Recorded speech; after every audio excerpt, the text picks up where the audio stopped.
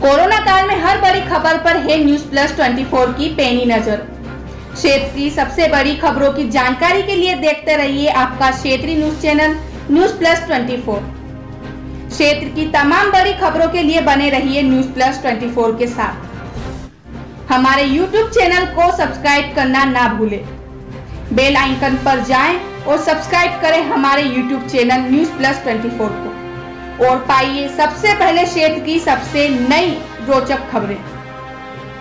YouTube channel के साथ ही आप टीवी चैनल पर भी ले सकते हैं क्षेत्रीय खबरों की जानकारी। जनता के मुद्दों को प्राथमिकता से उठाता रहा है न्यूज़ प्लस 24 आगे भी बना रहे आपका सहयोग।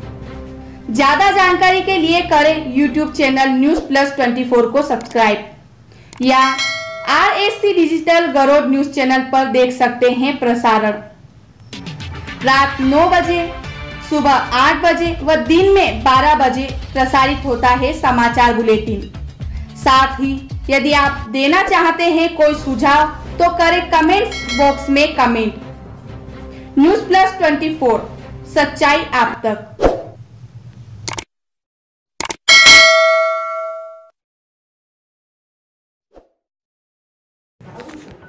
खबर मंदसौर से।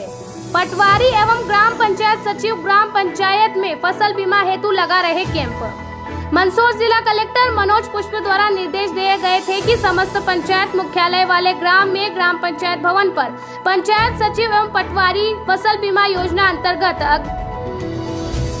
अरेरी कृषकों के पंजीयन हेतु कैंप लगाएँगे। पंजीयन कैंप प्रत्येक पंचायत भवन में लगाए सचिव एक पृथक से पंजी संधारित कर समस्त कृषक जिनके फार्म भरवाए गए हैं, उनकी सामान्य जानकारी संघ फार्म क्रमांक दर्ज कर रहे हैं। फ़सल बीमा पंजीयन करने की अंतिम तिथि इकतीस अगस्त है। अंतिम तिथि में कोई वृद्धि नहीं की जाएगी। कोई भी किसान रविवार के दिन भी बैंक में फ़सल बीमा का फॉर्म जमा कर सकता है। इसके लिए सभी बैंक रविवार के दिन भी खुले रहेंगे। सोयाबीन में लग रहे कीड़े के दृष्टिगत। यह कैंप आयोजित किया गया है। कैंप में अऋणी कृषकों को यह जानकारी दी गई है कि यदि फ़सल बीमा में पंजीयन कराना है तो सोयाबीन को हो रहे नुकसान का मुआवजा मिलेगा। मंदसौर संवाददाता देवेंद्र मौर्य की रिपोर्ट।